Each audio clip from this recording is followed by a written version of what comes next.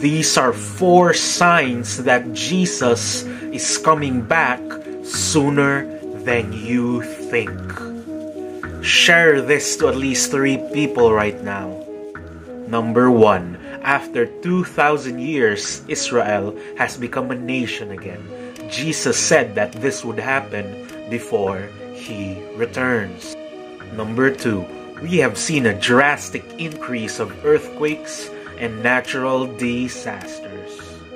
Number three, Jesus said that when he comes back, it will be like the days of Noah. Just like in the days of Noah, people were rejecting God, living in rebellion, living in immorality, and so on.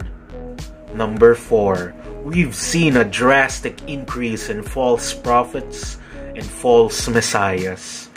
Do not be deceived. Are you ready for His return? If you believe that Jesus Christ is your Lord and Savior, you will be saved.